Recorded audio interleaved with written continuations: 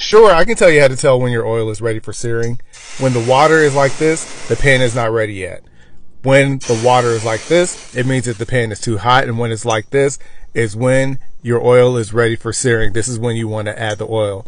And once you've got it to that point, the egg will move around easily and will not stick to the pan at all, just like this.